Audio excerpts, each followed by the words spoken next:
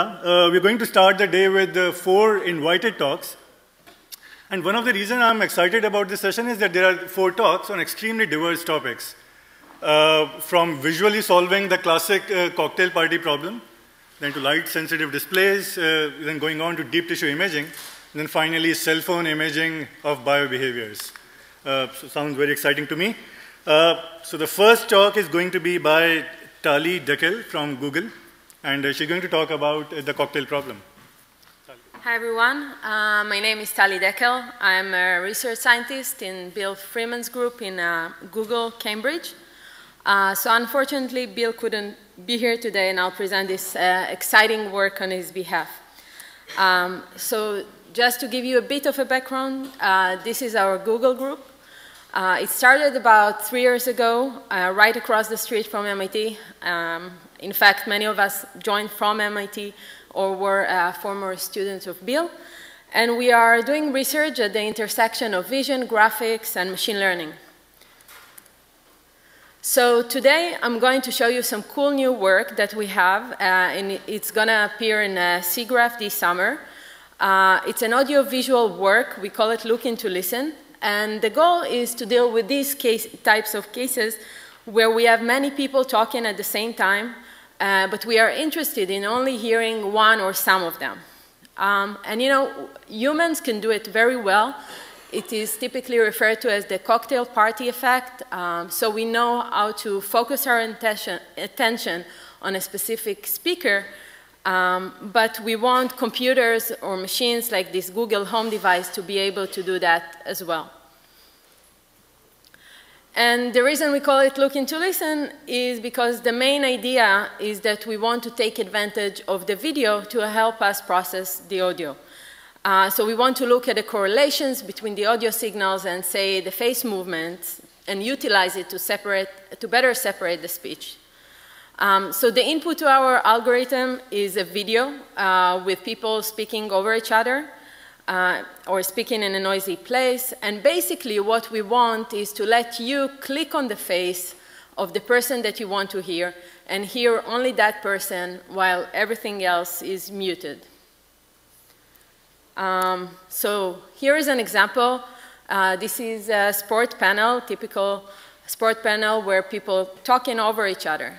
He's not on a Danny Ainge level, but Don't he's above a Colangelo level. In other words, he Don't understands enough to if I you said, you said it's all right fan, to lose on purpose. You said it's all right to if, lose yeah, on purpose. Yeah, of course and it is. It's called tanking. Who doesn't it's know perfectly that? okay.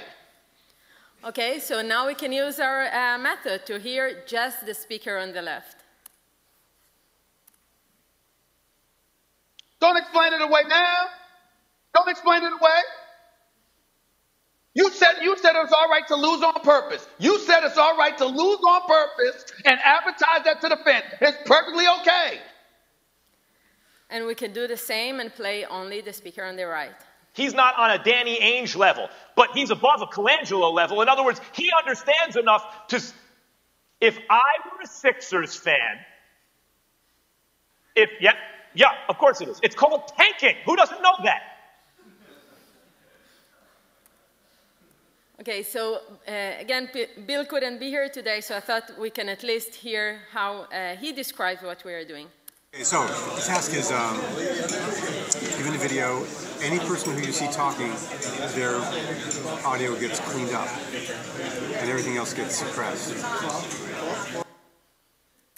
And now we can even hear him better if we remove all the background noise. Okay, so the task is, um, given the video, any person who you see talking, their audio gets cleaned up and everything else gets suppressed. And this is just another example for fun. This is a video from the Conan O'Brien show where they basically accidentally booked two comedians to perform, to perform on the same slot. But luckily they did, so they acted together. And this is how they input video. Zebra. I'm not a fan of flying. I hate it. Hate being on he planes. Might say, in general, there's so many noises. Solid. You know what I mean? I won't flush the and toilet say, oh, on an airplane because of the noise. Like it scares me. And again, here is our result separating the speech and, uh, for only the right speaker. I'm not a fan of flying. I hate it. Hate being on planes in general, there's so many noises. You know what I mean? I won't flush the toilet on an airplane because of the noise. Like, it scares me. You go, you hit flush, then you turn around, nothing happens for five seconds. Then out of nowhere, boom! Boom! Oh my God! I just put a hole in the plane. And as a comparison, uh, this is what you get with the state-of-the-art method uh, for uh, speech separation that is uh, using only audio. Go, you hit flush, then you turn around, for five seconds. Then of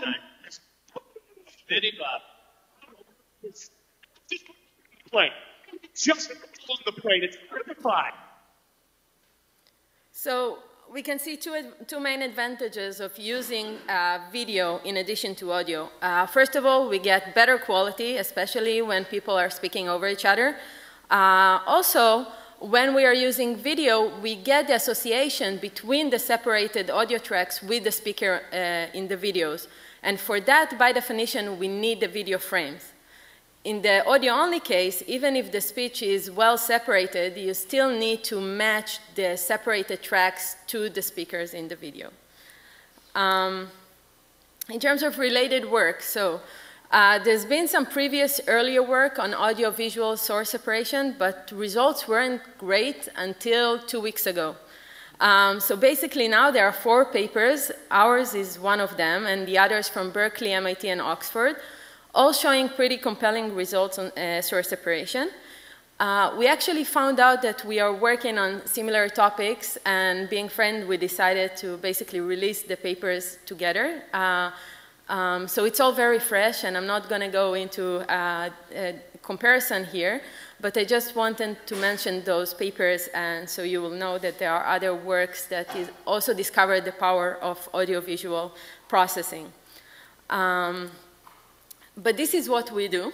Uh, we trained a neural network, of course, uh, and we took a supervised approach. Um, to do that, what we need, we need the input to be natural mixed speech video, and we need also the ground truth of the separated voices for each of the speakers to train this network. Um, and of course, finding lots of natural videos with overlapping speech and ground truth is very challenging. Um, but what we can do is uh, automatically detect videos where we have single speakers uh, with clean speech and then mix them together. So this is how we started putting this data set together. We crawled about 100K uh, educational videos from YouTube, videos of lectures, how-to videos, and so on. Um, and we chose educational videos because in general, uh, they contain like a single speaker, you get a nice view of the face. The video quality is uh, pretty good. Uh, the, audio, the audio quality is pretty good as well. And here is a short segment from such a video. It doesn't use radars like potential autonomous cars. Actually, in order to navigate, it only uses a vision system. So we get a nice view of the face and a clean speech, which uh, is what we need. Um, of course, there are still many segments of, in these types of videos that we don't want to use. So, for example, we may have clean speech, but not enough resolution of the face uh, because the person is too distant. Um, we could have a person talking over slides. Uh, so we basically use face tracking and audio processing to filter out these types of segments uh, automatically. Um, and after this filtering process, we are left only with segments uh, from the video that has clean speak and a visible uh, single speaker, uh, like in these examples. Drink clean water and breathe fresh air. We work with people of all ages and all backgrounds. Я верил, что меня ждет очень много возможностей в этой стране. The reason one would select a pendant light over the other types of lighting uh, and this is essentially the, the data set we built. Uh, overall, we got around 1,500 hours of such clean segments, uh, single speaker talking, good view.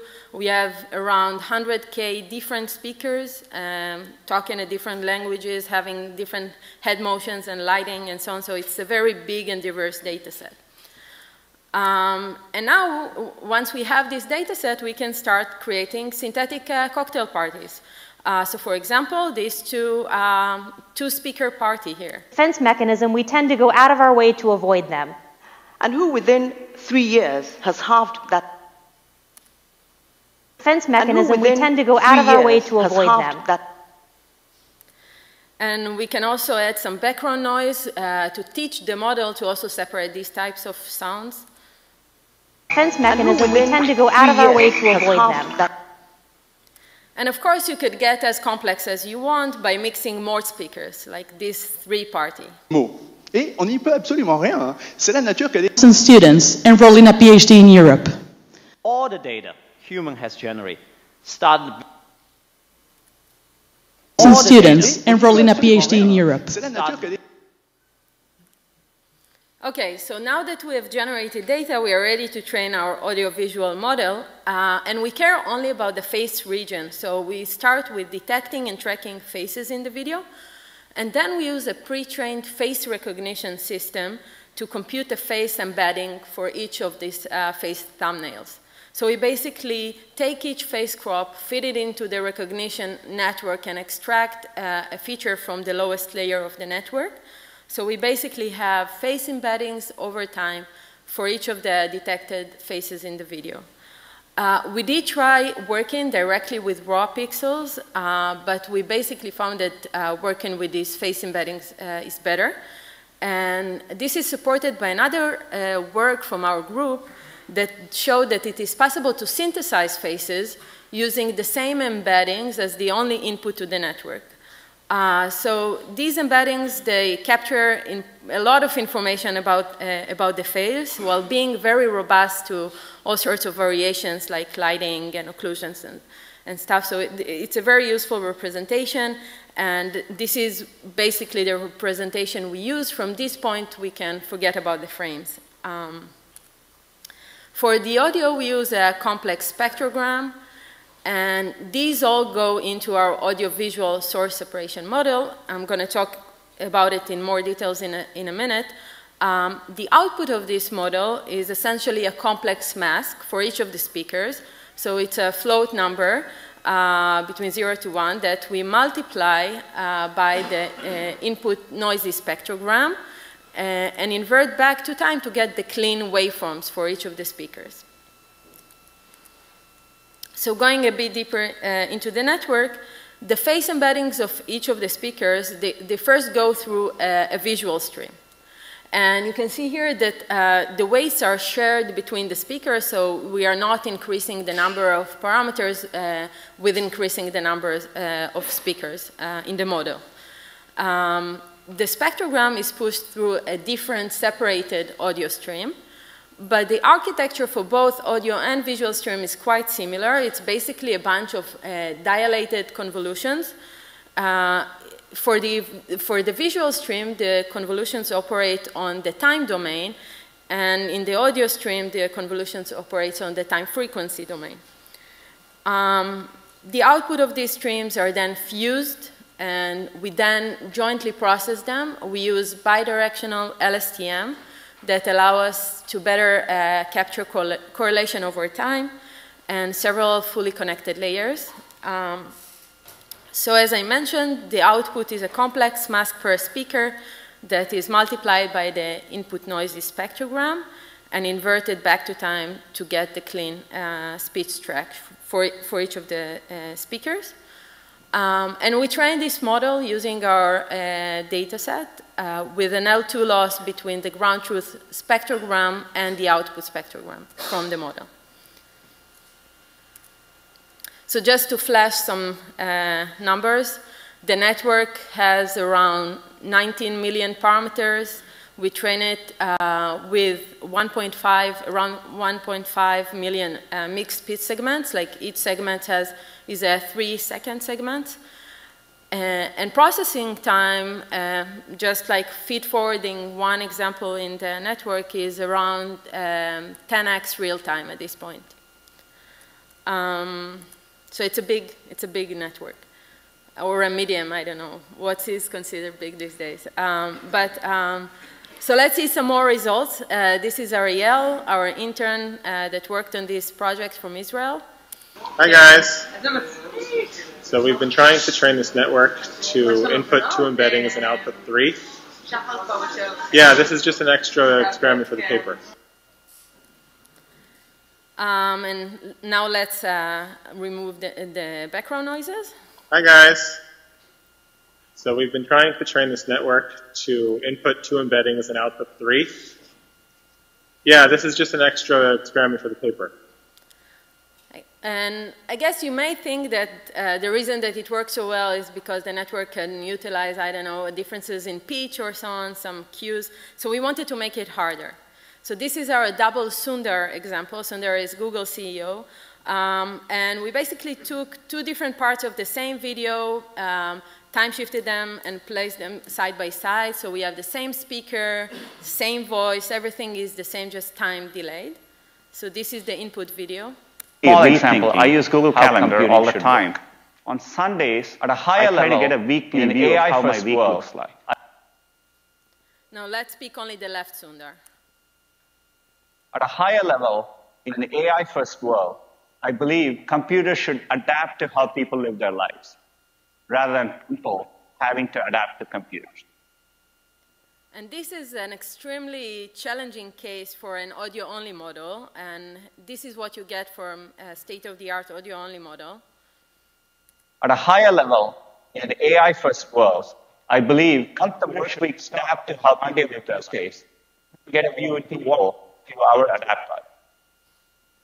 And our result again. At a higher level, in an AI first world, I believe computers should adapt to how people live their lives rather than people having to adapt to computers. Um, in terms of numbers, we have a large data set with ground, with ground truth. So we created like cocktail parties mixtures with different numbers of speakers. And we measured the SDR for the audio-only model and our model. And we used our model under different numbers, uh, number of input visual stream. Uh, so you can see the number here. I'll just point out uh, to two things. First of all, when we have just a single speaker with background noise, you can see that the visual component is not doing much. Um, it's basically, we are in par with the audio-only uh, model. But when we start introducing uh, overlap in speech, that's where our model shines with an average improvements of 1.5 dB. Uh, we also measured how well do we do with separating speech of the same gender, and you can see from these numbers that we're pretty robust to gender. Um, okay, so going back to natural scenarios, here is Inbar from our team trying to get directions from a phone while her kids screaming in the backseat. Okay, Google, please navigate to work. Okay, Google.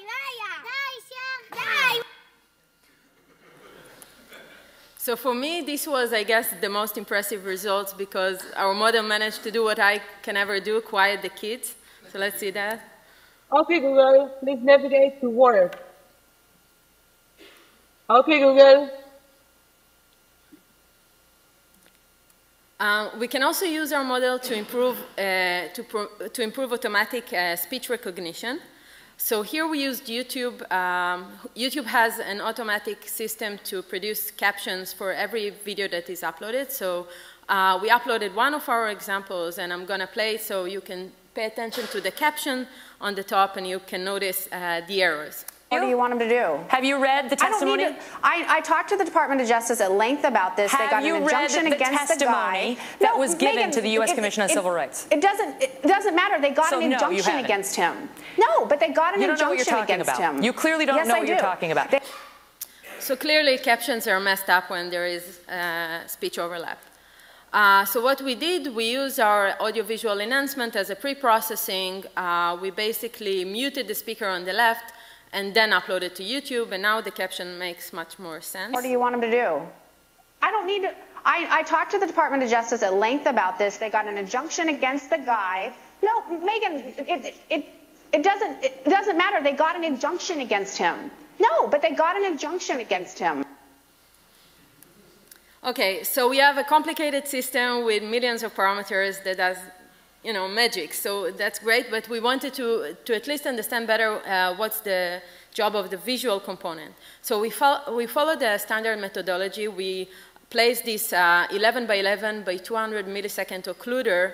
Uh, this is a space-time occluder. And each time we occluded a different patch in that uh, video, we feed forward that in the network, and we measured how, uh, how the separation result changes with and without the occluder. And that gives us uh, a heat map video where red corresponds to regions that contribute much to the separation result. What you answer my question? polling station, Kirsten, because Why the won't witness... you answer my question? What's your question? Uh, and these are some more sampled frames from other videos that we applied this visualization on. And what we can see consistently is that regions around the mouth contributing a lot to the separation result, but not only, also regions around the eye and cheeks. Um, and I will finish with uh, one last example. I wanted to like stretch a little bit, like to let you uh, guys understand better the envelope of like what the model could handle. So this is an extreme source separation result. It's a very low SNR. And you know how in research you always run experiments on your family. So this is Omri, my husband, uh, uh, on a date night in a noisy bar. Hi? Sorry about that. I was, No, that's- I was on a mission. It's fine. Yeah. Uh, I have the single cuts, please. Sure. And she wanted the, the Cabernet Venezia. Yeah. Thank you. And this is the separation uh, result. Hi, can I order? No, that's it's fine. Uh, I have the single cuts, please. And she wanted the the Cabernet the Venezia. So again, it's not perfect, but this is a very uh, low SNR and still managed to mute the bartender, which is nice. Um, so looking forward, uh, we think that this technology could be useful for a bunch of applications in Google, but not only. Uh, as I mentioned, improving auto captioning, improving uh, video conferencing, being used in uh, home assistant devices. And uh, a moonshot would be to integrate something like this to improve audiovisual hearing aids. Um, so thank you all, and I hope you enjoyed the talk.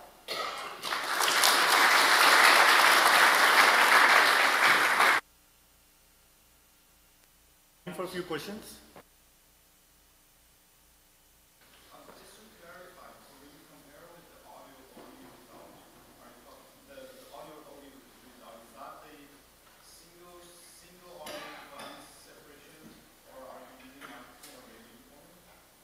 It's not a it's all single microphone.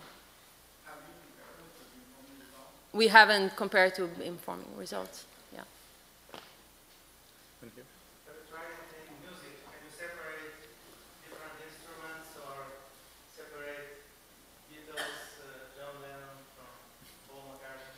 Right, so uh, we, we only focused on speech here, so not like musical instruments. Actually, one of the papers that I mentioned as uh, really recent work, they focused on music um, um, to basically let you click on some pixels and hear the instruments that play that music.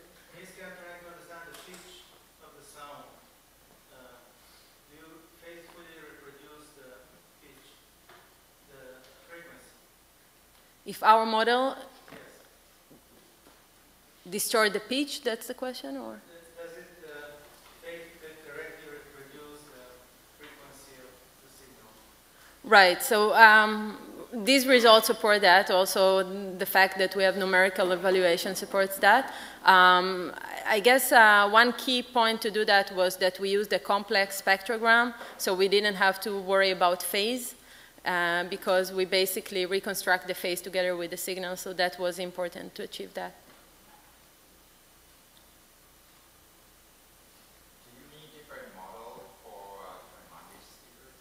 Right, so this is a, a, good question. So we have the freedom to train our model with different number uh, of input streams, and uh, we could have a different configuration of the models to to train uh, uh to train this. Um, so we don't need to, but some configuration might work, work better. So if you want to deal with three three uh, people speaking at the same time, you may want to train the model this way.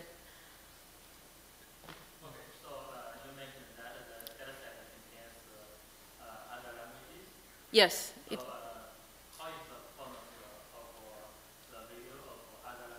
Yes, it works pretty well. So in some of the language uh, videos here, actually, we had some Hebrew in the background. I don't know if you noticed, but uh, it works pretty well. It generalizes pretty well across languages. Uh, the, the, majority of the data set is English, but also has some examples from other languages as well. One last question from there.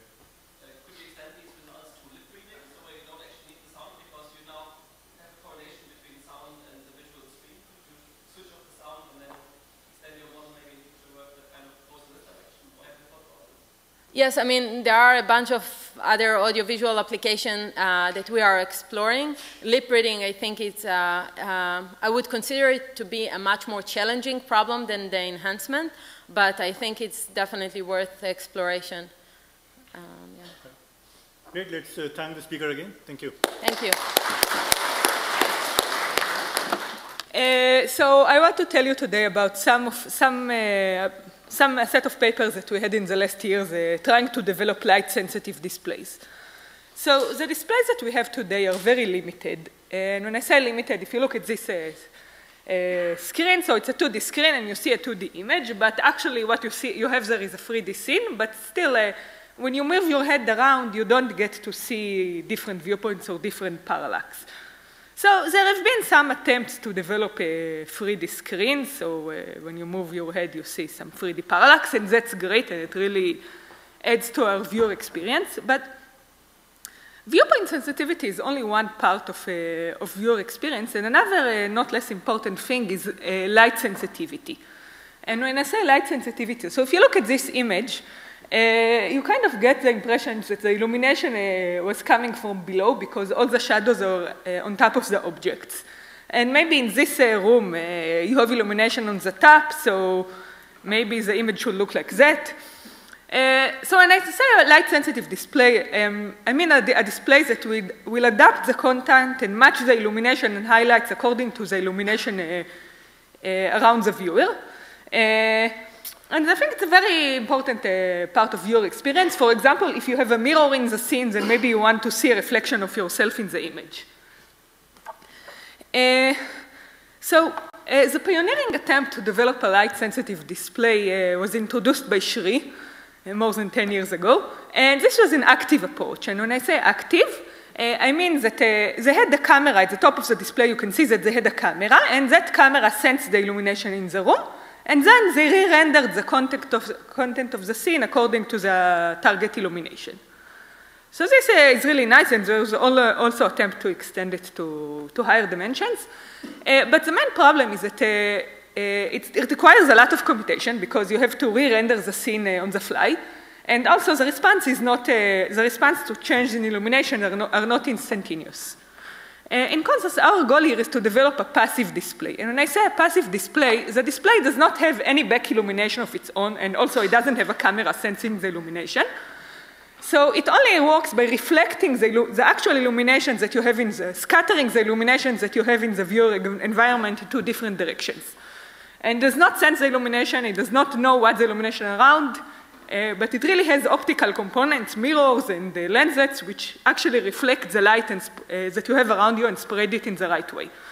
And one, uh, uh, so first it requires much less power, and also it, the response to illumination change really happens at the speed of light.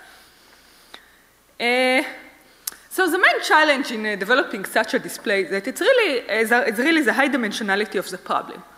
So suppose that uh, you want to account for every uh, possible illumination. So essentially you have a 4D light field of incoming illumination because every spatial, so you have a 2D screen and in every spatial point on the screen, you have two degrees of freedom of all possible illumination directions. So that's 4D for illumination and you also have four degrees of freedom of outgoing directions. Uh, so overall, you have eight degrees of freedom that this display should support. So that's really a very high dimension. Uh, and that's what makes the problem so hard. So uh, to make a long story short, we didn't really solve this problem, and we don't have, really have a display which does all of what I promised. Uh, but uh, we try to focus on some simpler sub, sub problems of, of, of this bigger challenge. So I'll show, show, you two types of display. Uh, the first one uh, has to do with uh, spatially, uh, is a spatially varying BRDF display. So what is spatially varying BRDF? So here is a picture of a, of a spatial uh, device that we've created uh, using photolithography. So that's a very spatial piece. what's special about is that on every point on it, we've designed a different BRDF. So if I look at the, these two points, we've designed, uh, designed them such that they reflect light in a given, in a different way that we have defined. So what you see here is a, for a given illumination direction, how, how much light is reflected to where, to different uh, viewer, uh, viewer directions. So you, for example, you see that one point is more diffuse and the other one is more shiny because uh, in one case uh, the spread is wide and in the other case uh, the spread, the light goes only in a certain narrow range of angles. Now, to really describe a BRDF, I need to tell you uh, how much light is spread for every different illumination direction. Uh, in practice, the BRDF is another way to simplify the problem and reduce the dimensionality. Uh, the BRDFs that we considered here are only two-dimensional BRDFs in a sense that they are only a function of the half vector. They are only a function of the, the lighting and the sum of the lighting and viewing directions. It's not an independent uh, function of both lighting and viewing direction. So that's another way to reduce the complexity of the problem. So we had two types of such displays. The first one was not really a display, but it's a hardware piece that we created using micro, uh, microlithography. And the second one is really a computer-controlled display. So in the first case, what we did is to etch uh, with micro photolithography very, very small features uh, on the silicon wafer. And in the second case, we had a, a spatial light modulator, which is actually a liquid crystal display where every pixel of it uh, can, have a, can have a different uh, index of refraction. You can computer uh, program and computer control the index of refraction of each pixel. And the pixels here are much, much smaller than what you can see in your eyes. They are uh, 8 micron wide for the SLM and uh, 2 micron wide for the, for the wafer. It's much smaller than what you can actually see with your eye. And with your eye, you actually end up seeing an aggregation of several such pixels and that's what gives you the power because uh, essentially what you do is to create a diffraction, design a diffraction pattern to display on uh, this collection of pixels such that the diffraction from this uh, set of pixels will uh, create, scatter the light and generate uh, the desired BRDF behavior. So let me show you what you can do with such a display. Uh, so for example, uh, here we had two target BRDFs. There are two types of anisotropic BRDFs. The red one uh, means that you get bright, uh, bright reflectance when the illumination varies uh, uh, horizontally, and in the blue one, uh, you get a bright reflectance when the illumination varies vertically. And uh, we assign, assign each of these two BRDF to different dots on the display. so now here we image the display when the illumination is coming from the top. So in this case, the blue pixels are bright and the red pixels are dark. And so you get to see the min, the min is bright, and you can actually swap the illumination direction, and then you see the opposite of this optical illusion, and now the woman is bright and the, the man is dark. So uh, you achieve this by playing with two anisotropic BRDFs.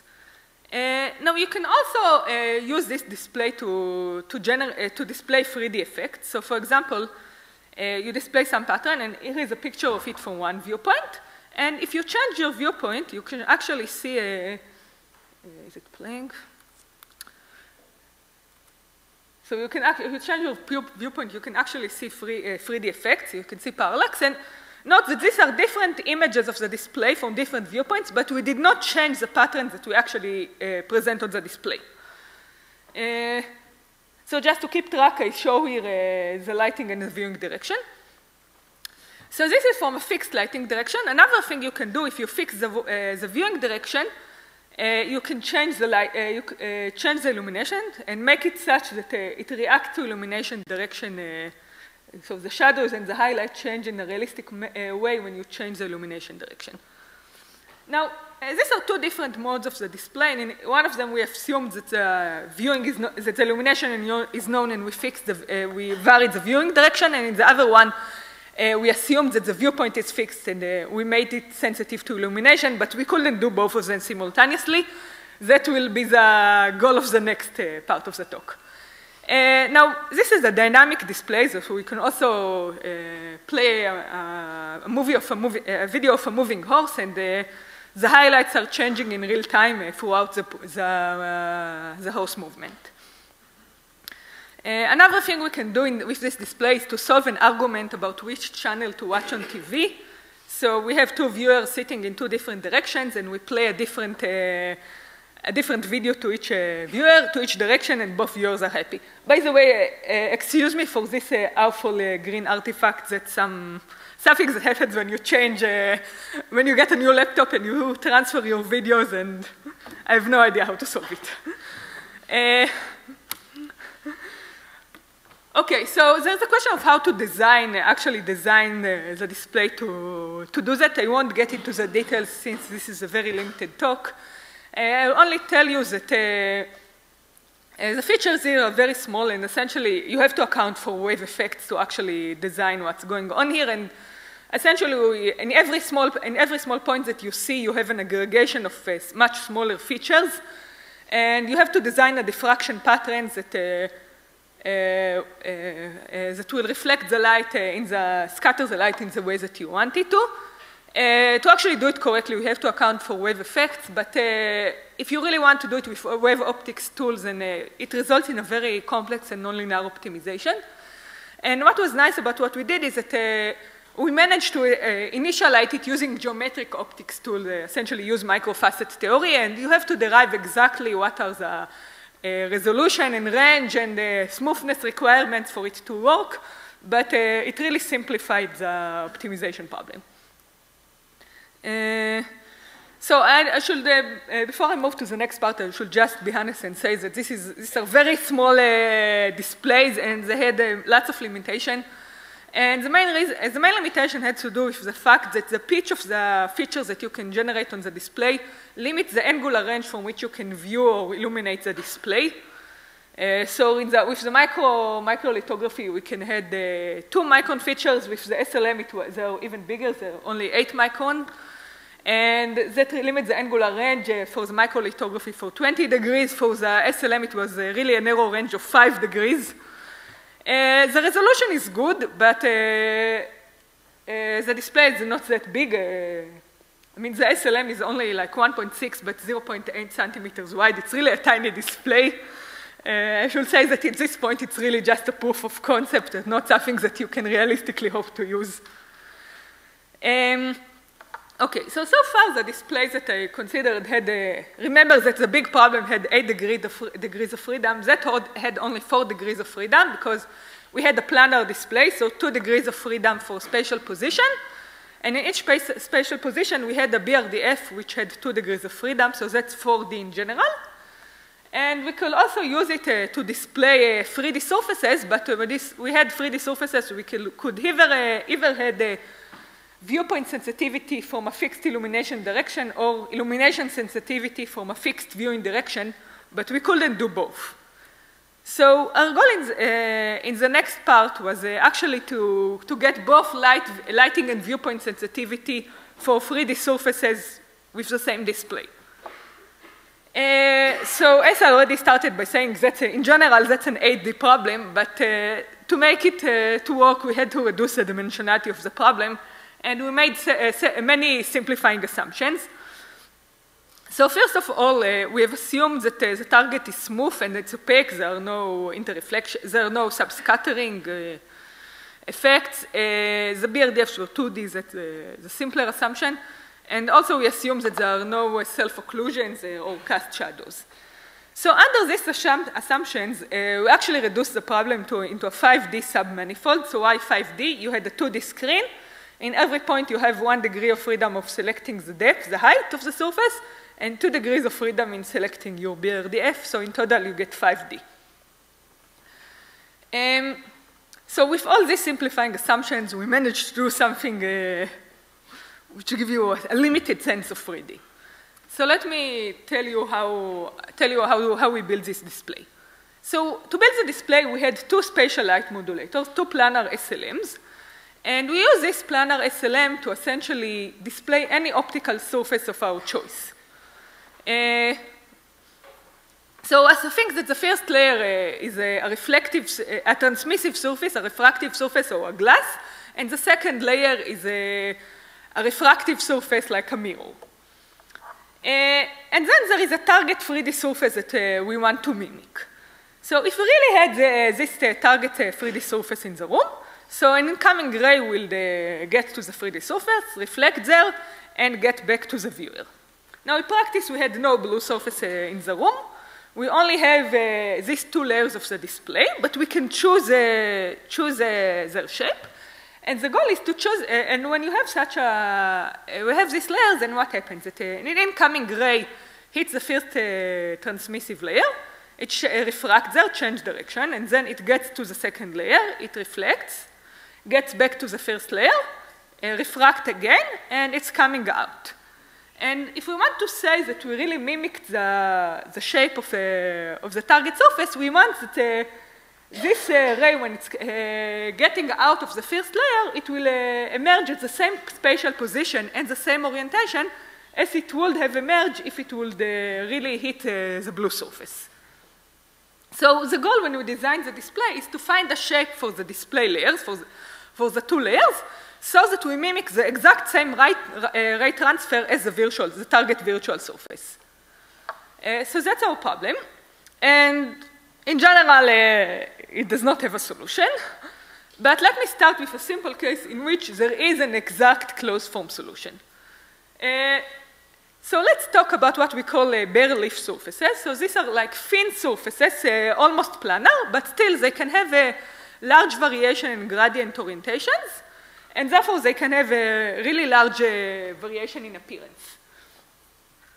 Uh, so for such surfaces, we have a closed form solution, and it's actually very simple. It says, uh, so for, uh, it says that you set the first layer as a, as a lens, and the power is a function of the depth of the target surface, and the second layer uh, is a quadratic reflector, quadratic mirror, plus a scaled version of the texture uh, on your target surface. So let's see.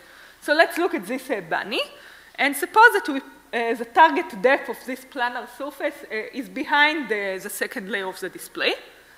Uh, so what happened is the first layer has, ends up being a positive lens, and the second layer ends up being a, a negative mirror, plus the scaled version of the bunny. And since the, uh, the first layer focuses the, focus the light, uh, we get a smaller, uh, a copy of a smaller version of the bunny on the second layer. Now, in the opposite case, if we put the target bunny before the second layer of the display, then we actually get a negative uh, lens in the first layer uh, and a positive uh, mirror at the second layer. And now we get a, a, a larger, uh, an expanded version of the bunny because uh, the negative lens actually bends uh, the light, the rays in that direction. So for this case, there is really an exact flow, closed form solution. But uh, our goal is to target uh, more general 3D surfaces, not just planar uh, bas-relief surfaces. So in this case, I should say that in general, there is no close, there is no real, uh, no accurate solution, but we can still find an approximation. And we defined here some optimization problem, and following the intuition from the bas-relief case, our goal is to find the first layer that uh, will focus on the second layers rays that otherwise will focus uh, on, uh, on the target virtual surface. So there is some optimization problems that we solve. And once we solve it, uh, we again uh, copy to the second layer the details of, uh, of the target surface according to the mapping which is defined by the first layer. So here is some, uh, some result of, of the optimization. So we have a target surface which is just this circular bump. And the front part of it uh, is in front of the second layer of the display, and uh, the back part of it is behind the second layer of the display. And you can see the solution for the first and second layer. Uh, so in the central part, uh, we get a positive lens because uh, the, the, surface is in front of the first of the second layer. And uh, in the back, in the periphery, we get actually a negative lens because the target is behind the first layer of the, the second layer of the display. Uh, so let me show you some of, uh, of what you can get with uh, this uh, display. So I should say that uh, we ended up implementing this with two with SLMs, and as I told you, SLMs are very small and they are very limited in resolution and in size. And I wanted to distinguish between limitations which are inherent in the model because with, with a two-layer display, we cannot really generate any arbitrary 8D, 8D light field. So I want to, to distinguish between, uh, between, uh, between limitations which are inherent in the model and limitations which are uh, just due to the limitations of existing hardware. So I'll start by showing you synthetic results. Uh, so in a synthetic result, uh, we had a target teapot and uh, we solved the optimization problem and we had an assignment for, for, the two layers of the display. And then we did ray tracing on the two layers of the display and ray tracing on the real target. And I show you what uh, we get from each case. So here uh, we fix the viewpoint and we just vary the illumination. And in this case, it looks really good and uh, what we get from the display really resem resembles the target. So now I can also change the viewpoint and just uh, to be more creative, I show you a different target, but uh, we can change both the viewpoint and the illumination simultaneously on the same target. We don't need to, to show, to change the assignment on the display. Uh, so here, uh, when I, I change the, uh, the, viewpoint, you can see, still see some depth parallax in the result of our display, but uh, it's not as good as what you get from the real target. Uh, to, to, show it in a different way, I took the leftmost and rightmost images of the of, from the display and I fused them as green and, and, red channels of the same, um, of the same image. And then uh, you can see, especially around the noise, you can see the parallax that you get. So you can see that the parallax that we managed to get with our display is not as good as, it's, we get some parallax, but it's not really what you had in the target. But still, you get some sense of 3D, so maybe something. Okay, so now uh, to the real results. So as I said, we use two SLMs, and these are very limited both in size and in resolution. And it really limited both the range from which you can view the display and the amount of depth parallax that we could show on it. And it's really, really, really a piece of, a piece of a proof of concept, and it's not something that you'll anyway use realistic in the near future. But uh, still, let me show you something. So uh, this is a target, there is some Barbapapa shape, uh, which is uh, slightly, has some, some bump, some 3D. And we had two types of BRDFs on it, the red, uh, the green and the blue with two anisotropic reflectance. And here is what uh, you show when uh, you vary the illumination direction. so you can see the effect of the BRDF. So when you vary the illumination horizontally, the green BRDF is bright and the blue BRDF is dark, and when you vary uh, vertically, you get the opposite effect. And you can also, uh, uh by the way, uh, you have here the shadow. You can also see how the shadow change when you change the illumination. So this is a touch shadow. It's not cast shadow. Remember that there are no occlusions within this display. You can also vary the viewpoint, so you see that the bright point uh, change. So that's good.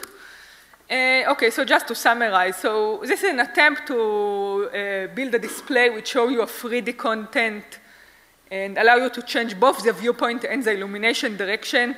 Uh, we used it, uh, we built it with two thin uh, spatial light modulators. Uh, with bas-relief surfaces, we have a closed form solution. in the more general case, it's an optimization problem. So just to pop back a level, uh, I showed here two types of displays. The, the, first one is a 4D display, which show, show varying BRDF uh, on a planar surface.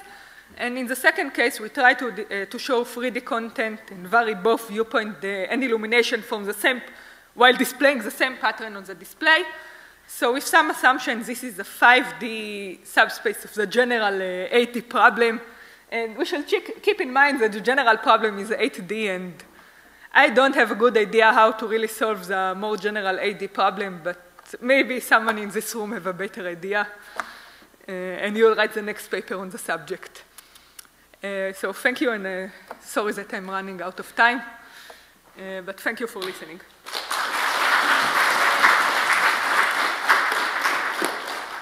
We have time for maybe a couple of questions.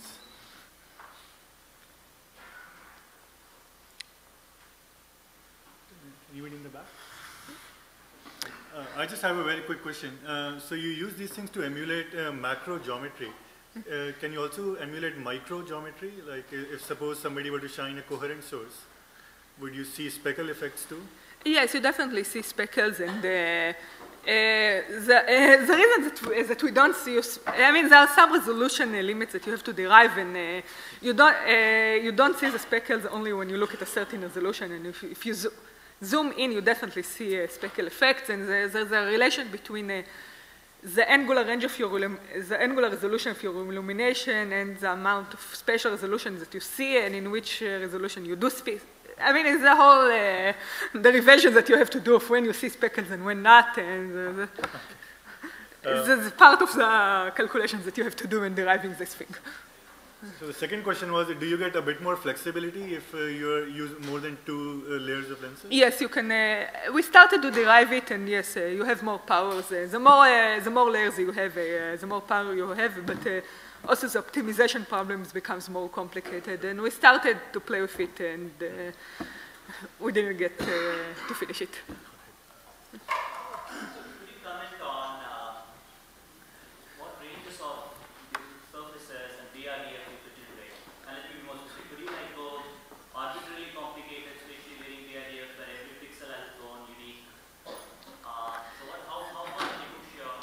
Okay, so in the paper there is an exact derivation, but uh, I'll say uh, uh, first there is a relation between the angular the trade-off between the angular resolution and the spatial resolution. Uh, the, the, amount of BRDFs we can do, uh, you can, uh, currently we did only BRDFs which are a function of the half vector. So they have two, only two degrees of freedom, they are not general BRDFs you can do arbitrary, arbitrary 2D BRDFs up to resolution limit, limits, which are uh, a function of the pitch and the size of the pixel and uh, the angular range of your illumination and various relations like that that you de we derive, but uh, I don't have a rule of thumb to give you.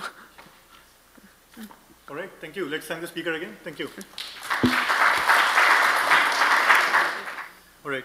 Uh, our next talk is by Jana uh, Kainerstorfer from CMU. She's going to talk about deep tissue imaging. All right. Thank you. Um, thanks for the invitation, Ashwin. Um, it's a pleasure to be here. It's not a, a, typical conference for me, and I've learned a lot already. Um, so I am an assistant professor in biomedical engineering here at Carnegie Mellon, and what we do is optical imaging of biomedical tissue, which really means what we're trying to do is build optical instruments to, to monitor disease or, or diagnose a disease. And so, um, really, I would like to start out with the motivation of my lab, which is really focused on trying to quantify microvascular changes in whatever body part. Um, and the two that, that I'm going to be focusing on today are breast cancer and uh, traumatic brain injury. Um, and really the idea of my lab is to build instrumentation that can monitor and quantify the microvasculature inside tissue, so very deep down, um, and a mixture of data processing and then clinical translation. So really the goal is to use non-invasive methods to, to monitor disease.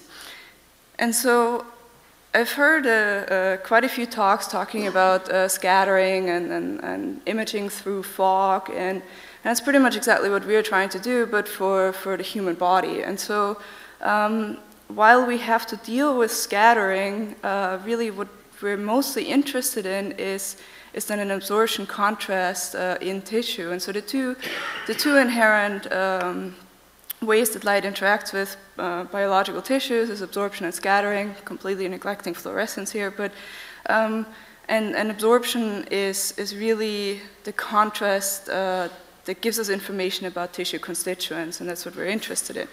And so I'm going to be silly for a second and, and essentially describe this in terms of uh, uh, cranberry juice and milk. And so cranberry juice is red because it absorbs all, based on absorbance, all, all of the colors of light except for red, so it goes through, and so we see cranberry juice to be red. Uh, milk, which is pretty much 100% water or 98% water, um, is not um, translucent because of scattering and so scattering particles. Um, and so the reason I'm, I'm, bringing this up because optically speaking, our body is pretty much a mixture of cranberry and cranberry juice and milk. Um, so what I mean with this is red light goes through the human body, uh, very uh, large scale, um, and it gets scattered like crazy, so very much like cranberry juice and milk. And so, um, so that, that image here pretty much nicely il illustrates this. If I use a, a, red laser pointer, except for if you have red nail polish, it doesn't work that well. But um, if you use a, a, red laser pointer, it goes through the finger, green and blue does not um, transmit through the finger that well. And it all boils down to this absorption coefficient. Uh, and our body dominantly absorbs light uh, based on, on hemoglobin.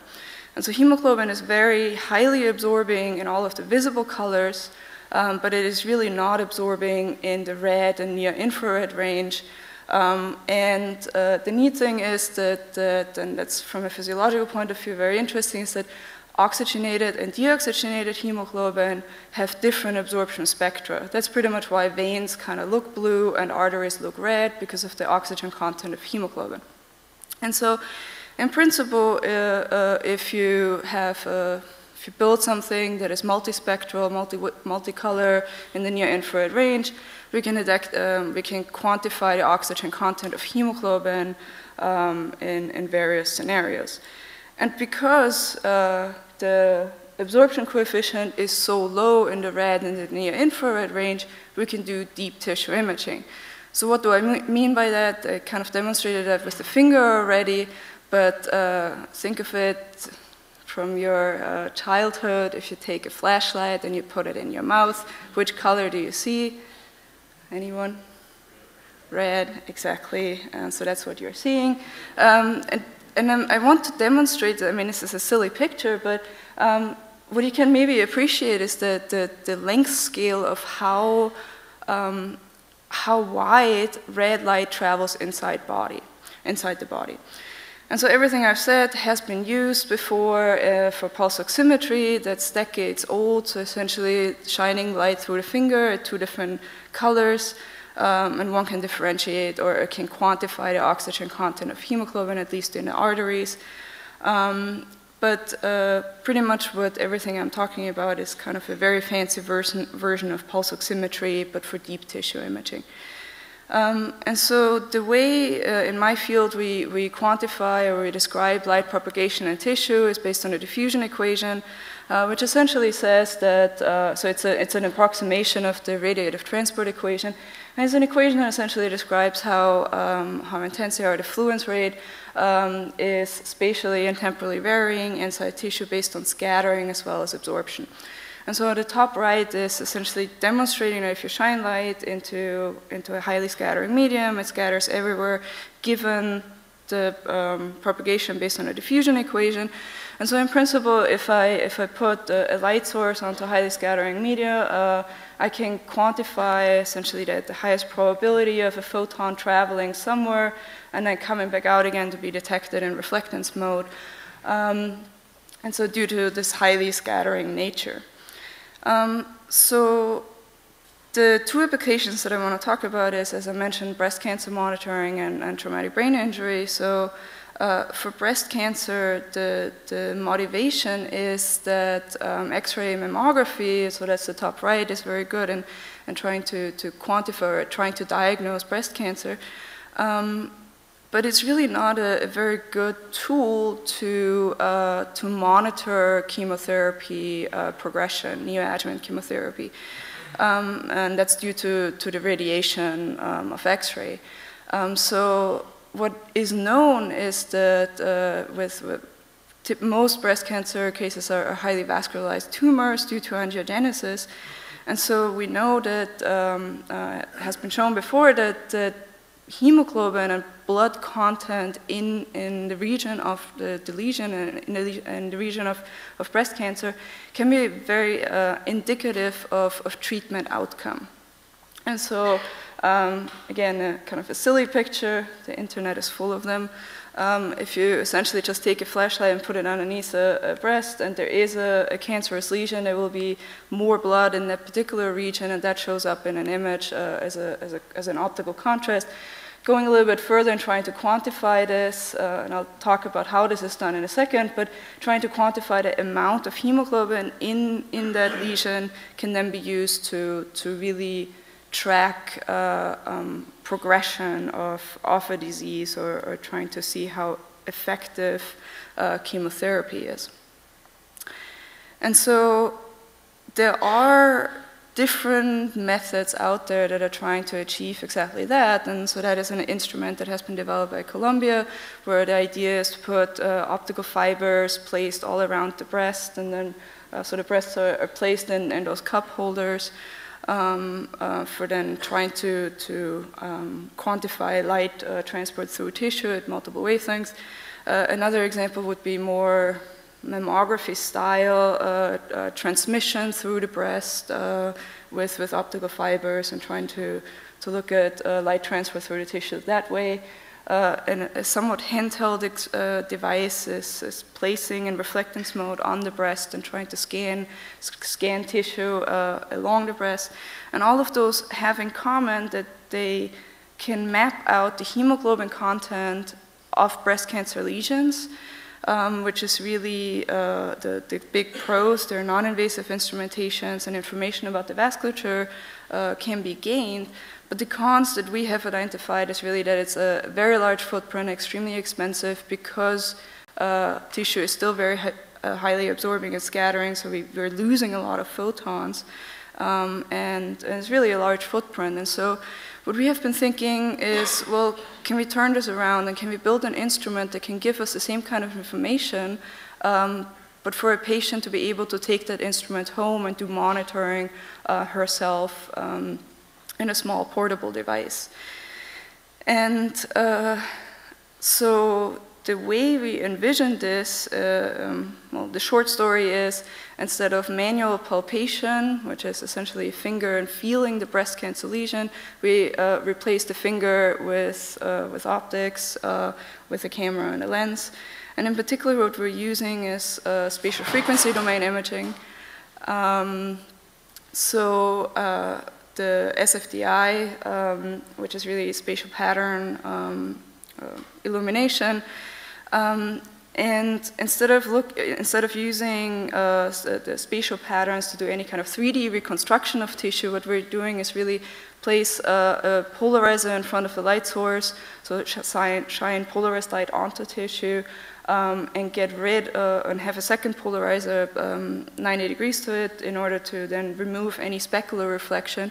So we really are only interested in the photons that have traveled deep inside tissue, and we're completely removing specular reflection. Um, and so we, we shine multiple uh, frequencies, spatial frequencies onto tissue, multiple phases, from which uh, we can um, extract what's called the diffuse reflectance component, from which we can calculate the absorption and scattering coefficient. Uh, and in this case, that's a, it's an example of, a, of, a, of, an arm where you can see in an absorption coefficient map uh, the veins uh, showing higher absorption, so more hemoglobin in that region. And everything boils down to, again, a diffusion equation, but solved for in the spatial frequency domain.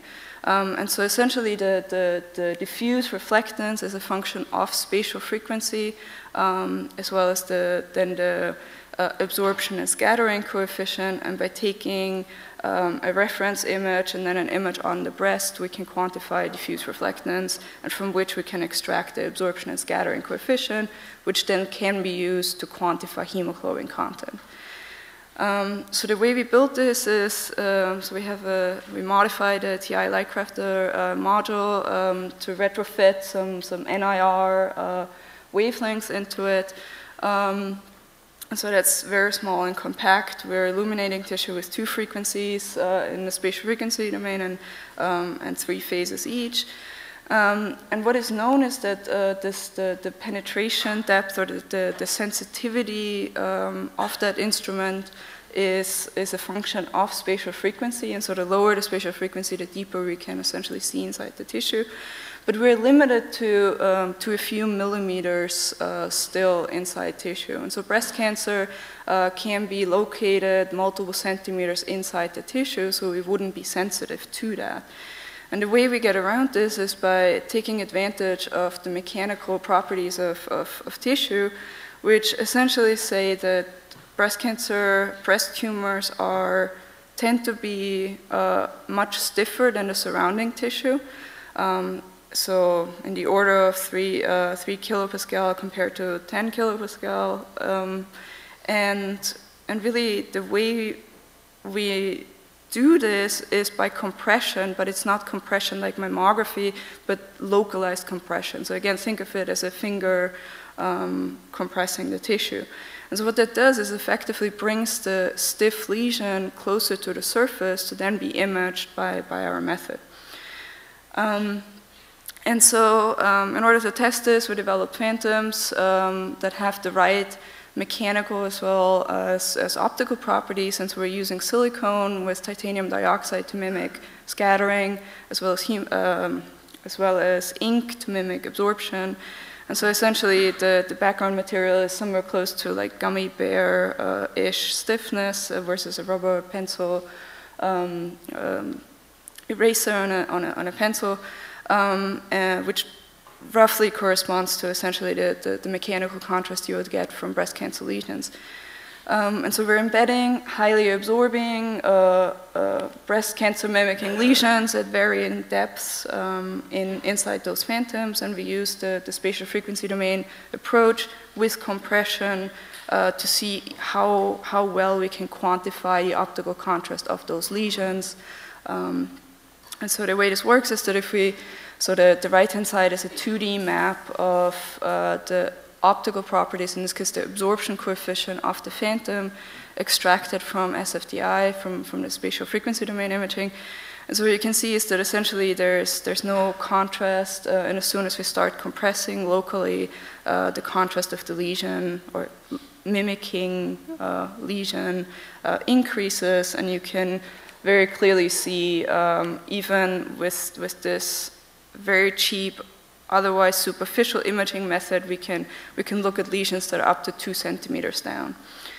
Um, and so really in conclusion for this project, uh, before I switch to brain imaging, is um, that we can, we can use a, a handheld device um, uh, that is quite cheap to build in comparison to other instruments out there um, and, and look inside uh, tissue to quantify breast cancer lesions. And so the way that we envision this is essentially uh, monitoring at home where the rib cage is, is providing the stiff uh, background and then compression, local compression of the lesion. Um, and real briefly, uh, one other thing that I want to talk about is, uh, is how we can use near-infrared imaging, or imaging very loosely used here, um, uh, spectroscopy to monitor cerebral hemodynamic changes. And so, in principle, uh, if you put optical fibers on somebody's head, uh, because near-infrared light goes so far inside tissue, um, light can travel all the way through the skin, bone, interact with the brain, come back out again to be measured, and we're sensitive to hemodynamic changes in the brain. And so that's kind of the idea here. The red blob is typically uh, kind of the region we're interested in. Um, and what we can do is uh, look at changes in the absorption coefficient as a function of time um, um, in, in the brain. And one, what one can do is uh, come up with, or can measure um, temporal changes of oxygen deoxyhemoglobin as the brain is doing something. So this is essentially functional activation. And so in this case, we put a sensor in the region of what is the motor cortex, and we're very much sensitive to changes in uh, when the brain is active, there's an increase in cerebral blood flow, um, and that, corresponds to an increase in oxyhemoglobin. And I'm kind of rushing through this, but um, the idea is that at least at a, at a, single point with one optical fiber pair, uh, we can nicely look at functional activation in terms of hemoglobin changes inside the brain. And so, in principle, this can be extended uh, as, as, essentially an imaging method and 3D reconstruction tomography, which is uh, what a group at, at WashU, uh, Joe Culver's group, is doing. And they have really nicely demonstrated that optically we can get as high resolution as, as functional magnetic resonance imaging. Um, but what my lab is interested in is trying to not so much map out hemoglobin changes, but look at a single pixel um, uh, change in the brain, and with a specific idea in mind, which is can we look at intracranial pressure and how intracranial pressure, so the pressure inside the head, um, influences the hemodynamic changes. And the reason we're interested in this is because the current state of the art is to measure intracranial pressure in traumatic brain injury is by drilling a hole and sticking a pressure probe inside the brain. So that's not really applicable for a whole lot of patients. Um, and so, so the question is, can we do something differently? And so we are going to, uh, we're, we're, using an animal model, um, again, single location, single pixel sensor on the head. We change intracranial pressure in a particular fashion, so by, by putting fluid inside the, the animal's brain.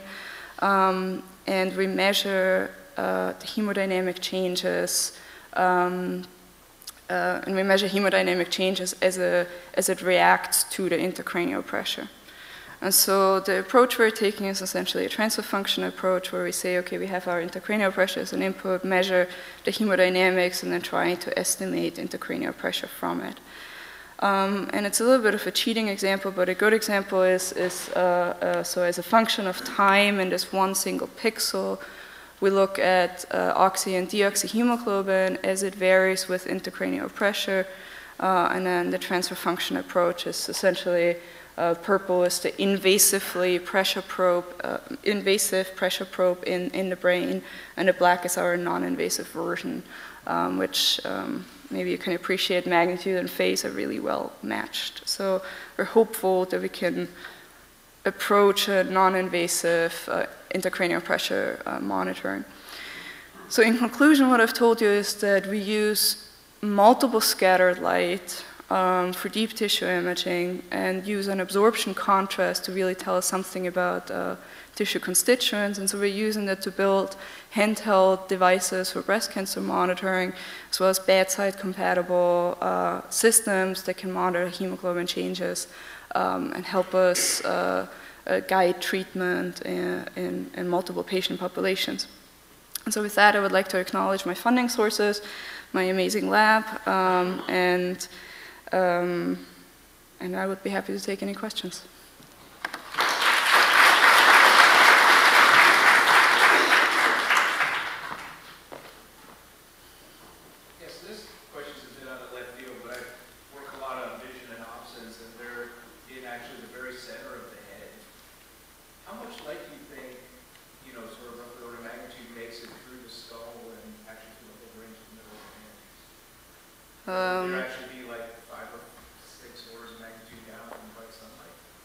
Um, actually, it's somewhat comparable. So we have to stick to ANSI standards, which is uh, typically 0.2 watts per centimeter squared.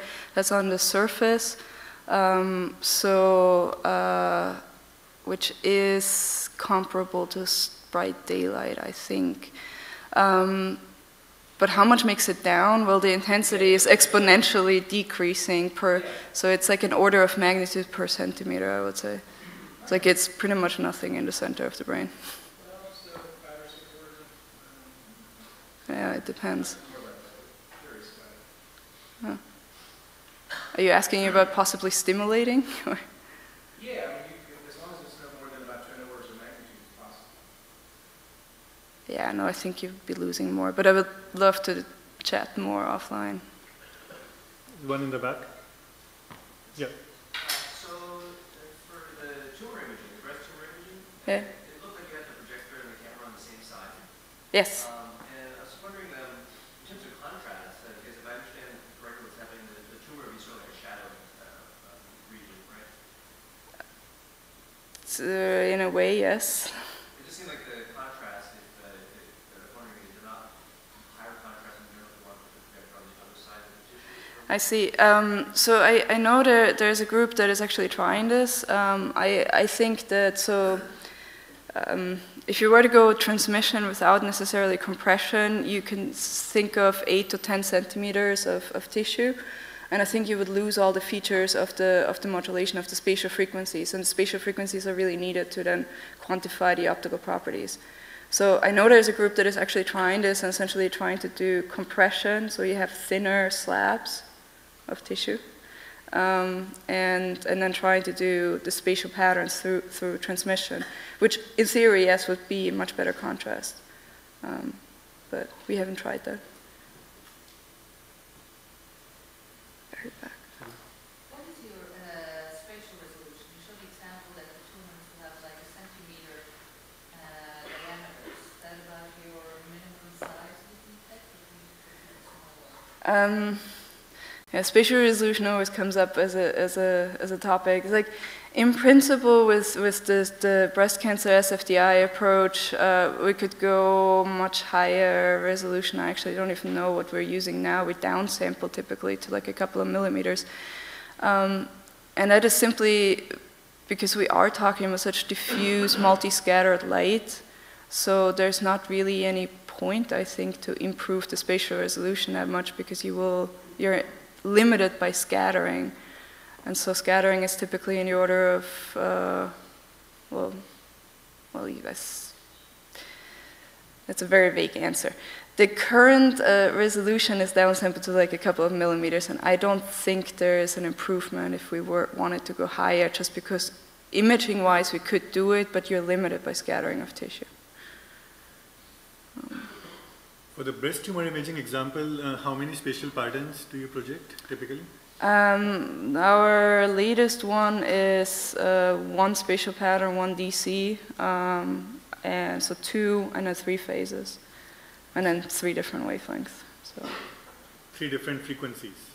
no, uh, two different frequencies, uh, three three phases. So we're shifting the. So approximately what's the capture time? Uh, 0.3, Point uh, 300 milliseconds for all of them, yeah. In the very back.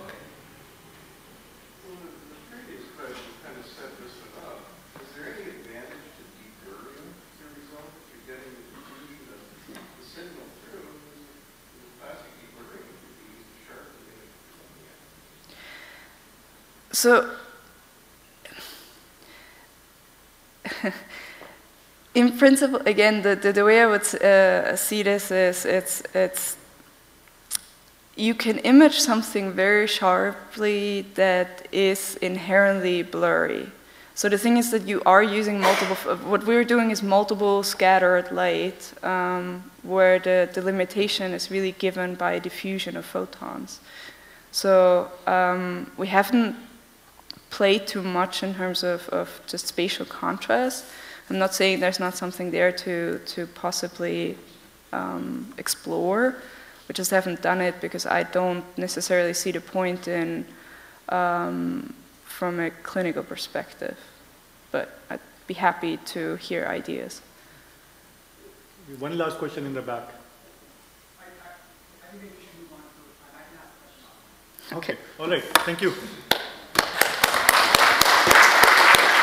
All right, uh, the last talk in this session is by Ashu Sabharwal from Rice. Uh, going to talk about uh, cell phone sensing of uh, biobehaviors. Thank you very much. Uh, just wanted to thank Ashwin for the invite. Uh, and before I start, I thought I'll put everybody in the mindset to for the next 20 minutes. Um, so I was thinking about it last night. How would I introduce what I'm, the level at which I'm going to talk about today? It'll be if I were writing a novel, all I know is the name of the main character. I don't know the rest of the story. So that's what the rest of the talk will look like. um, so the, the main character of the story is uh, what is in healthcare considered to be the elephant in the room, and which is human behavior. So you, uh, I've been working for seven, eight years with uh, quite a few healthcare professionals, quite um, several of them on the behavior side of things, and there is a general consensus that we have very little understanding of patient behavior, which has a huge impact on health outcomes. And here is a chart from a book 21, 20, more than 25 years ago. Uh, at that time, even there was a reasonable consensus in the healthcare community that how much impact human behavior has on our health outcomes. And in this pie chart, it is actually the biggest part of the pie. Okay. Um, so in many cases, uh, we actually know how behavior impacts biology and hence health. So we have all have now strong evidence for these behaviors. Smoking behaviors can cause problems with lungs, which leads to serious illnesses. and so does poor diet and exercise. Um, in the long term, in the more medium term, uh, inhaler or, or medication error use causes problems to, again, biology, which causes more serious healthcare outcomes. And then even shorter outcome uh, time scale, you can, uh, for example, surgery recovery times are actually heavily dependent on whether the patients followed through their regimen after the surgery. Now, the key thing to note among, for all these behaviors is that they all occur outside the hospital. So we, they don't occur in that building. In fact, if you look at our total time we spend in our life, we spend, for most of us, very little time inside a clinical or a healthcare facility. Um, and then the only instrument we really have at our disposal today to understand behavior is questionnaire. We ask questions. Um, and the worst still is that we actually don't understand the impact of any behavior truly on biology. We have very population level understanding, but never not a personal or uh, personalized understanding of how specific behaviors impact somebody's biology and health. Um, now, last over the last 20 or so years, there has been actually increasingly um, uh, strong evidence which has built up through the area of epigenetics and in the sub-area of behavioral epigenetics, which has shown that ex, uh, different behaviors do actually have impact at a, at, at a DNA level, at the gene actuation level of how our biology reacts to things. And in fact, this pathway is bidirectional. So behavior impacts biology and vice versa. Biology actually impacts our behaviors too. Okay. Now, the, the thing is that we are actually really, really good at measuring biomarkers. Um, and in terms of measuring behaviors, I would say we are at least 100 years, perhaps more behind being able to measure behaviors. Um, now, and measurements are really crucial for any change. So, a, typical uh, control process or change process for anything, including behavior change, is that you have to be able to measure something first. You have to create models for it before you can create, modify those things. And that's, this cycle applies to many things we do, uh, not just for behavior change. Um, so currently, the way behavior change or uh, our behavioral patterns change happen, we rely heavily on memory, which we know is supposed to be inaccurate and biased, which leads to poor models of actual reality for us. And then generally our strategies don't work. Any behavioral intervention strategies typically don't work when applied to a single individual uh, largely.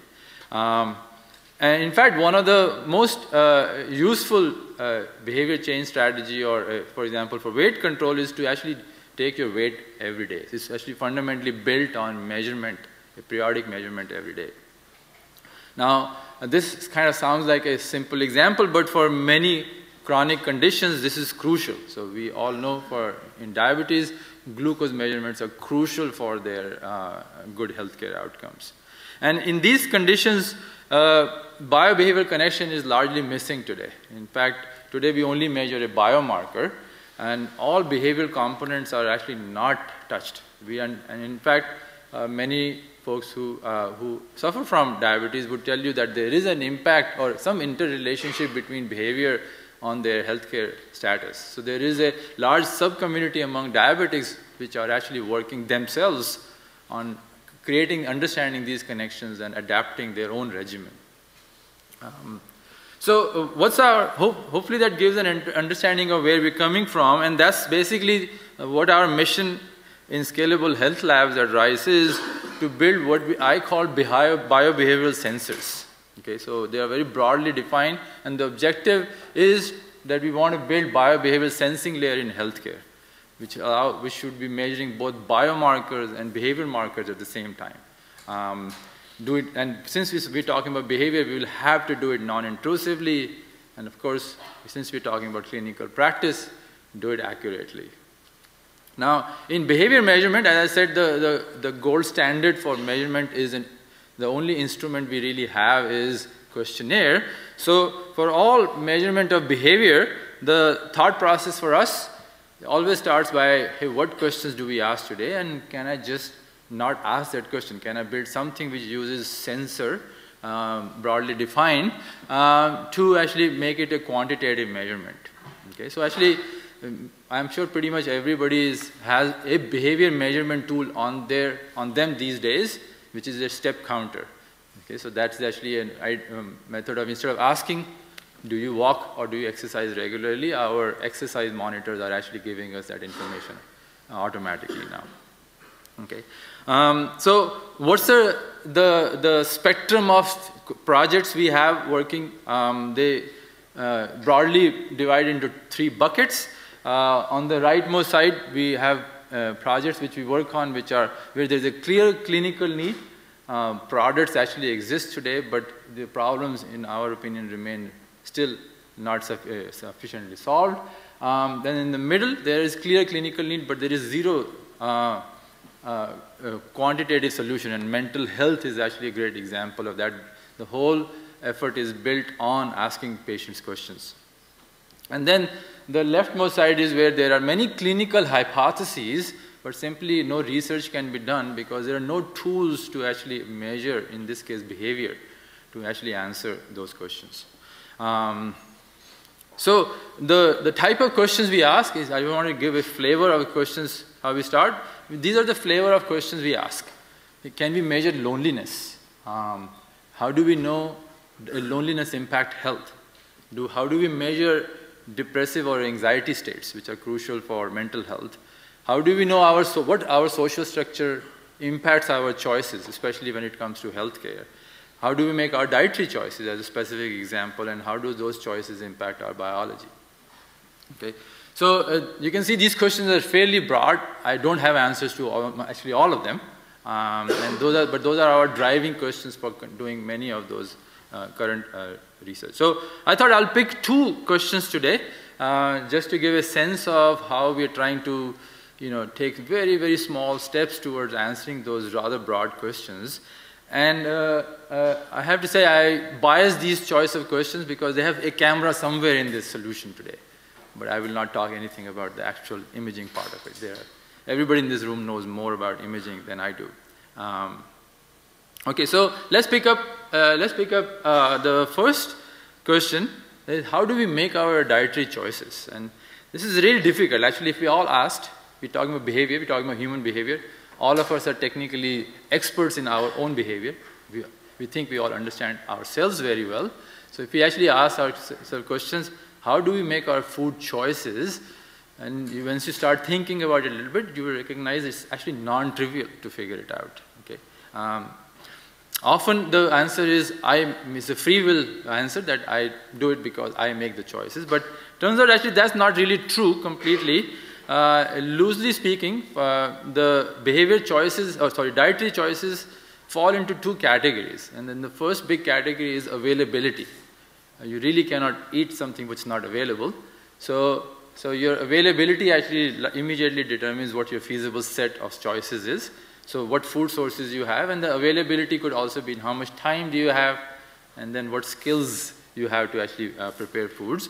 But then the, there is another category which is influences. We are influenced in our food choices both externally and internally. We really don't understand how these influences work because we really cannot measure them in any reasonable manner.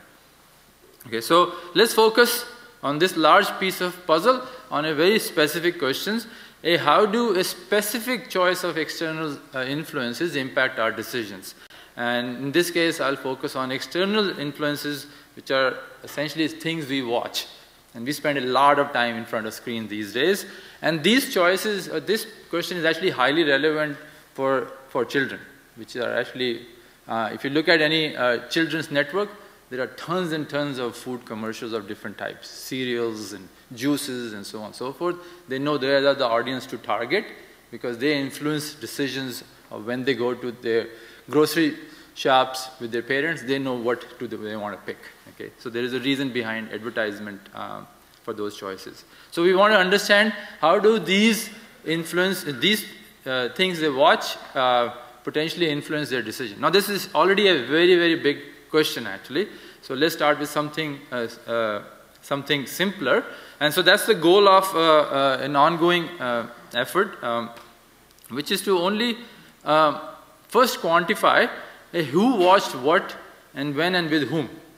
Okay, so we want to just get what are they watching and uh, how much are they, they watching it and what is their social context in this case. Okay, um, So this, uh, the question is been uh, specifically uh, reduced to is because we can actually leverage existing technologies to start answering, to at least addressing this part of the puzzle.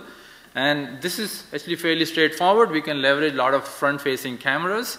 Um, and uh, even though there are tons of uh, uh, challenges in this when you want to actually understand who's watching what, and there are quite a few of existing solutions. So thank you for the computer vision community uh, for making huge advances in being able to actually take uh, video feeds of people doing things and classify them into categories of whether they're watching or not, what screen they're watching, and do it fairly accurately. Okay? So I won't comment on that. This, this, is, uh, um, this is an area which is already you know, uh, made huge advances in the last few years, and we are benefiting heavily from all those advances.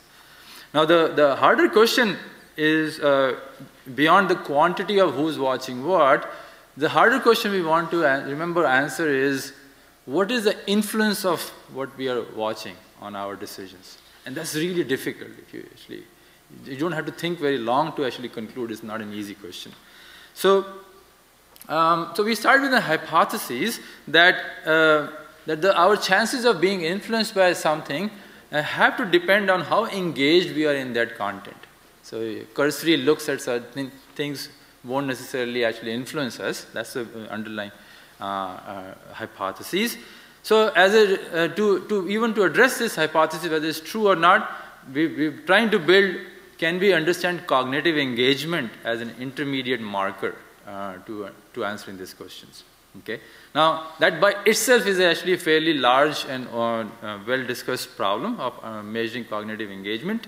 And there are tons of solutions often done in psychology or uh, behavioral sciences literature of trying to understand how engaged you are or how you are in a specific thing you are watching or doing.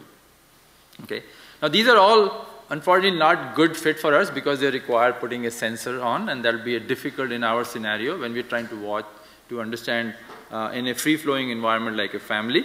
Um, so there is another alternative which is a gold standard in understanding cognitive load, which is pupillometry. Um, it relies on a, a very interesting uh, fact about our body. If we actually think very hard about some problem, our pupils dilate. We really don't know why that happens. So here is a typical test in psychology where you are given easy problems, then your pupils will be a specific size. When the moment you're given harder problems, your pupils will dilate. And at some point you will give up, your pupils will actually contract back. So you know exactly at what point you gave up trying to think about that problem. Now pupillometry would be a, a, a good way for us to do it, but in our scenario when we want to measure influence, especially in these difficult scenarios where the cameras could be far away or there could be all sorts of lighting conditions, so it's completely uncontrolled. So pupillometry, unfortunately, is not a good solution for us. In addition, pupils dilate for other reasons beyond cognitive load, which is because of variation in illumination. So we need a more robust method of understanding engagement, how engaged we are in a, in a, um, in a content. So um, there we are actually uh, exploring the idea, can the whole head motion be used as a marker for understanding engagement? And the, the, the reason is straightforward. If we are talking about visual task here, for us to be able to engage in a visual task, we will need to focus. That means if we are moving our head too much in that task, there is a little chance we can actually pay attention to the task. Um, so to test out these hypotheses, whether this is really true or not, we decided we'll actually first leverage a large uh, data set which is already online, which is YouTube gamers putting picture-in-picture -picture videos. Uh, gaming videos where you will have them, uh, they're playing a video game and then they have themselves videotaped at the same time. So we have a knowledge of the task and then how their reaction to the task. Okay. Um, so this has, we have assembled from 27 different gamers, a fairly large data set which is now well labeled. Um, and again, uh, what we are finding is that all these head motion metrics uh, actually are a reasonable indicator of how engaged you are. So here are some of the features which actually we can, which are make sense, physically make sense, like how often do you blink, uh, what is your eye gaze velocity uh, or motion changes or head motion changes. All of them have some explanatory power to how engaged you are in the task. Okay. Um, and of course, if you throw in uh, the black box, which the first speaker mentioned, things improve a lot better. It actually extracts more interesting features um, uh, to improve the accuracy. Okay, so you can so I won't actually have a result which everybody will uh, you know stand up and clap. There is no result like that today on this. This is we are in extremely uh, early stages of it. So I wanted to give a sense of the types of questions we are asking and how we are trying to actually make uh, progress on that. And part of my reason for uh, instead of presenting results uh, I, and I'm presenting questions today is that there is a whole lot of smart people and I would like, I'm hoping that some of you will work on these really difficult problems of measuring behavior. Okay. Um, so on the second question, I thought I'll talk a little bit more uh, uh, just to give a sense of now more from instead from the behavior measurement side, how does the biological measurement side actually plays into our whole uh, puzzle. And here uh, we'll look at a specific question which is actually slightly easier question than the first one. Not that it is an easy question, just a slightly easier question, which is that how do our dietary choices impact our biology? And we would like that to understand both in the short and long term. And this question is really crucial for folks with diabetes because for their life actually revolves a lot about understanding their diet and doing uh, control around it, uh, their medication control around it. Okay, so just as a quick quick lesson, uh, how when we eat something which is on the rightmost side, uh, it increases uh, it, uh, our pancreas produce insulin, and then the, the the cells are take take up the glucose. Then the when we need to actually burn uh, energy, we need to actually that uh, stored glucose is or glucogen is actually broken and then used for uh, creating energy in our body. So there is a tight loop, control loop which is happening, um, which allows us to actually uh, manage our diet and how our body uh, uses that uh, glucose. So um, the, when in, in diabetes, there are two forms of it. Uh, type 1 where the beta cells become silent and type 2 where the controls, this whole control system degrades. So a, a, tip, one of the therapy solution is to inject insulin so that we can have uh, a, we can take care of this glucose insulin balance. But in this case, instead of our body doing this automatic control, the, the person, the patient has to do this control themselves. So a key part of their control process is to be able to estimate how much carbs they have in a food, which is really difficult for complex food, which we, what we commonly eat. Um, so often they will actually use even, this is the state of the art today, manual diaries.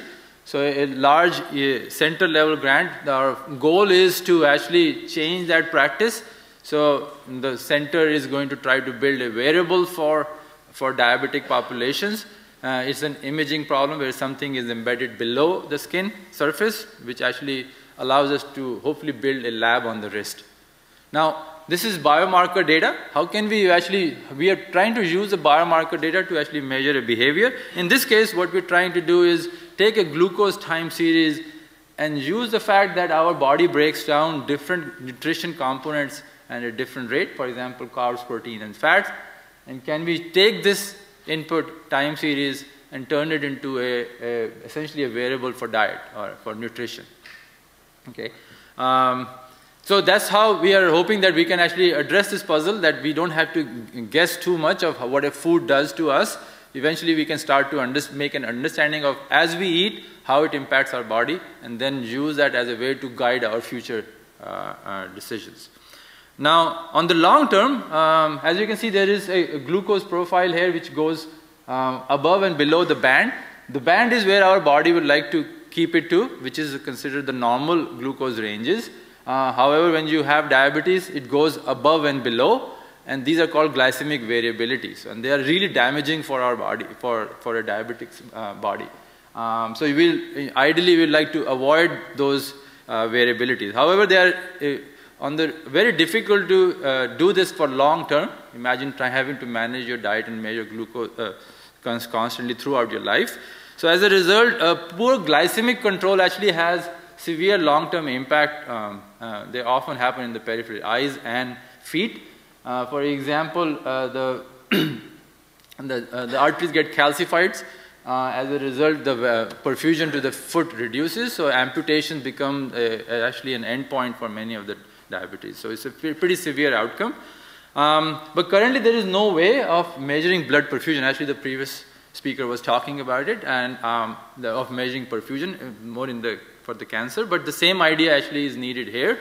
Um, and so there we have building, in fact, the same camera-based solution, which in, in, this case measures pulsatile perfusion um, of how the perfusion changes happen as a, uh, in synchrony with the heartbeat. Um, and there we have actually made pretty decent progress in being able to actually see uh, perfusion changes in, in real time. And so this is a simple experiment using that, that system where the, there's a person's hand is, has normal perfusion and, soon it will go dark because we have actually used a blood pressure curve to cut off the circulation to there. And as it comes back, you can see the perfusion comes live. And there's in fact uh, an excursion which we can actually capture pretty well. Okay. Now this is actually part of a much larger effort with actually several colleagues in the uh, um, expeditions in computing we started today of uh, trying to go a much higher resolution than what we can do today. And again, uh, as everybody in this audience can appreciate, scattering is a big barrier.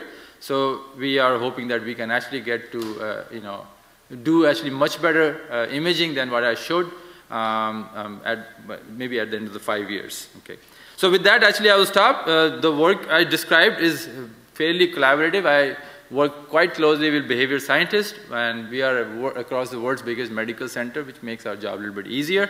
Um, and then um, all thanks goes to the students and postdocs who actually take on these difficult uh, challenges and the problems which I talked about. With that, I'll thank you and take any questions or comments.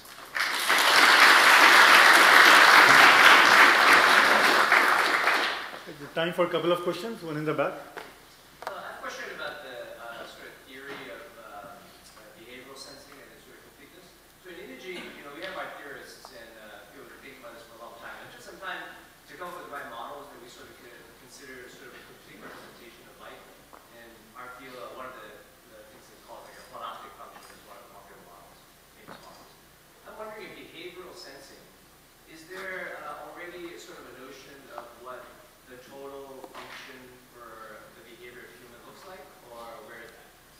Yeah, there is unfortunately, I would love to have that too, but yeah, that's not.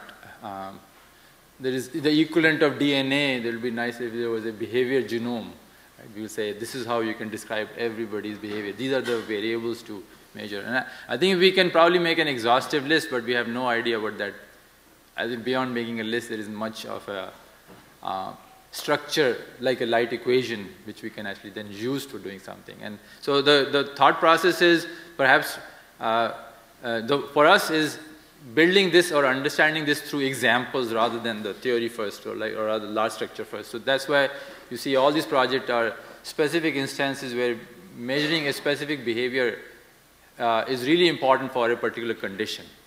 Now we are hoping that as we get better at it, these tools as we develop for specific condition become our instruments on the left side of the project, which is to conduct scientific inquiry, where we can postulate hypotheses and start to measure them. But I think we are very long way, way from there, from there, yeah. But I don't know whether it will happen in my lifetime, but I hope I get to see it. Question here? Yeah. Um, so a question about uh, decision making. Um, do you think that some advertisement is uh, perceived sort of on a subconscious level, and then if we're only looking at engagement, we're going to lose out on this? Yeah, for sure, it's possible, yeah. So there is a, so I, I want to say these are all hypotheses that we, if we do this, then maybe we can do that. Uh, so that really falls in that left category of questions. But the other thing, a very key thing, advertisement is not a single shot. Actually, we don't easily get influenced with high likelihood on one look at it. So that's why advertisements play over and over again. So they, there is actually an understanding that you have to build it as a normative thought in there. That means it's normal to drink, uh, let's say, Coca-Cola. And that's why Coca-Cola spends, would spend more money than Pepsi and be in more places for you to actually make it a normative thought. Once it becomes a normative thought, when you have to make a decision, we know that we make decisions at two different time scales. The first decisions, which are called uh, essentially immediate decisions, they are actually a little bit random. They are based on what's the, the most normative thought we have. Okay, so the things made in a very quick. Um, and that's why advertisers work very hard to make it a normative thought so that when you go there, what's the thing you will pick? That's the one the thing you've seen most often and feel is the normal thing to do. The other th set of thought which are very, uh, you know, when you think about it, you take the problem home and sleep on it essentially, and those are much more logically uh, or sound decisions, and you may actually not pick any drink in that case. But we don't make many of our choices during day with, the, with that way. Question? So animal biologists have had to worry about this for you know, a very long time Right. um, because you know, they don't, can't fill out questionnaires. Right. Um, are there some methods that could be taken from that world? Yeah. Yeah, actually, uh, so there is a, the, some there are many projects which I did not list because I didn't have a camera. um, but there is a very cool, uh, which is a, a hap- we are actually doing it simultaneously, mostly because we have just got a postdoc who's actually coming from that world. And there they're using understanding uh, language patterns. There's a language in animal world is at least considered simpler because they're generally sounds and they, the library is uh, smaller and it doesn't, it doesn't look like for many animals they actually form more complex things. But they can see how, for example, in chimpanzees, when they find food, they have two types of behaviors and they've actually discovered that through what type of utterances they produce. And so the two behaviors are they would actually be very quiet in some cases and be actually uh, noisy in other cases. And they discovered, when they actually studied it, it was first a phenomena they, they observed. Then the explanation they found was that um, when they're quiet, they're generally quiet when the food is scarce. They don't want to share. But they, if the food is abundant, they will actually share and they will call others to their food. Um, so we are actually applying the same, uh, same idea, but not around food and stuff, but idea of actually using speech patterns and stuff for addressing one of the questions which I listed, can we measure loneliness? So we're building what we call egocentric physical social network. Um, by essentially people just wear a band and we want to understand at what context you talk and how much do you get out of each conversation. And the, the, the, uh, the, the psychology or the behavioral science theory behind it is that in conversations, the conversations where we feel we got most out of it are the ones where we actually take turns. I talk, you talk, you talk, I, so on and so forth. Where there is a active turn taking is where we actually feel engaged in that conversation versus where we are only listeners. So we can actually measure that behavior. But then build, hopefully that will be a, a, a, small tool in the, we, if we have that tool, then we can start to conduct more experiments. But yes, I think there is a lot to learn from that world. One last question maybe? Uh, thanks for the interesting talk. Um, so um, this may be slightly tangential, but uh, there are a lot of apps these days that use certain kind of audiovisual content to create certain mental states. Um, do you have an opinion on that kind of stuff? Uh, I should ask my kids. I haven't seen those apps, but perhaps maybe you can tell me what they are uh, after the talk. which shows you uh, like rain and leaves, and it has the sound of rain, and it claims to reduce anxiety. Oh, okay. Um, so there is actually a systematic review which was published, and I don't remember the exact details of it, which actually looked at these meditation and relaxation apps.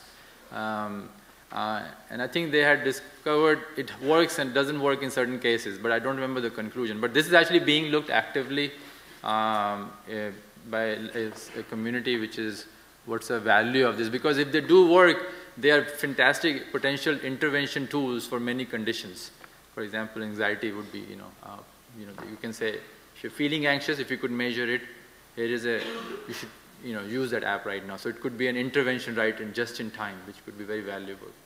So there's definitely a community looking at it. All right. Well thank uh, Shu again. Thank you. Thank you